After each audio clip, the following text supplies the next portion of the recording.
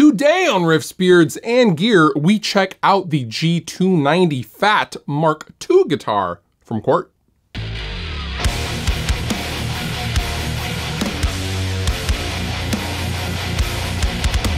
Always listening to their user base, Cort came from their award-winning G290 Fat guitar, thinking we could do better. And uh, you know what? They have.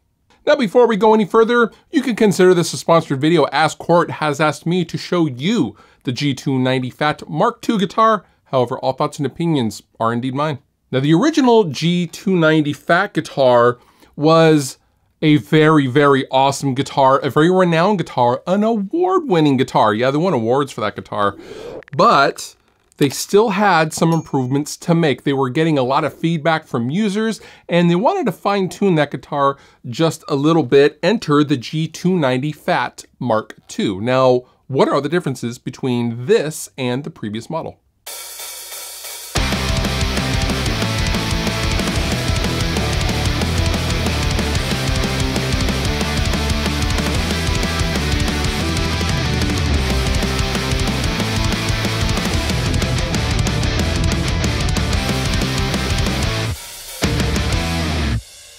Now with these pickups comes some pretty cool switching options with the five-way selector switch.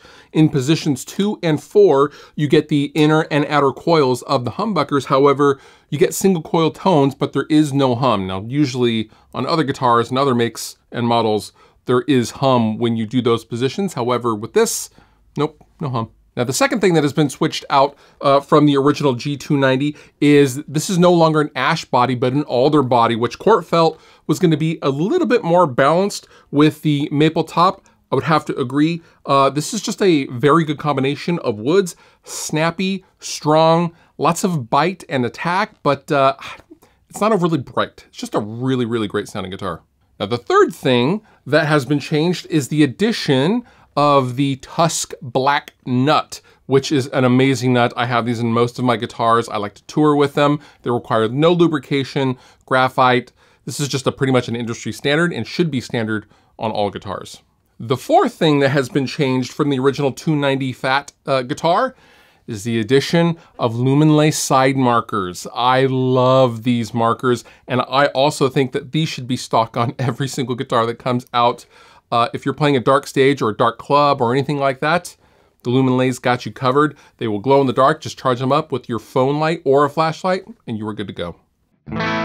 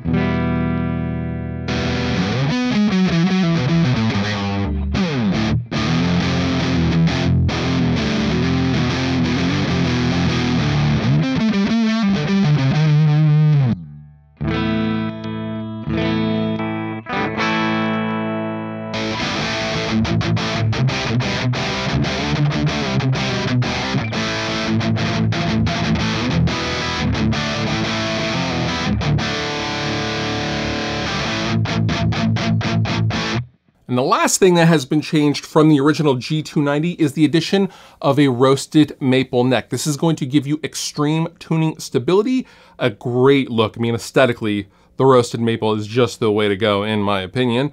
And uh, you're just gonna get a really nice feeling and great sounding guitar with this roasted maple neck. It's just, mm, feels good.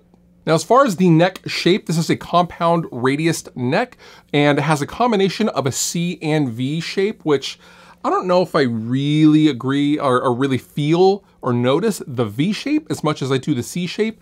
This is an extremely comfortable neck for me to play. Um, it's not super thin. It's also not super fat. It's just a real middle of the road feeling neck that is really comfortable doing fast upper neck stuff as well as the uh, down near the nut chuggy rhythm stuff as well. And lastly, in addition to the locking tuners, there is a stainless steel bridge with stainless steel saddles and bridge posts that come stock with this guitar. This is a killer, killer axe, and this is really just meant to do it all, and it does indeed do it all. I found this guitar to be very stable. Uh, it just it just sounds great. I don't know. I don't know what else to say about this guitar. It's very comfortable. The neck heel is nice and slim and comfortable. This is a great sounding guitar. And uh, yeah, kudos to Cort for uh, continuing to kind of improve their product line, not just kind of resting on what they have. Mad respect to Cort. I will link down below in the description if you'd like to know more information about all things Cort guitars. And with that, you've been wonderful. I've been Fluff. Thank you so much for watching and I'll see you next time.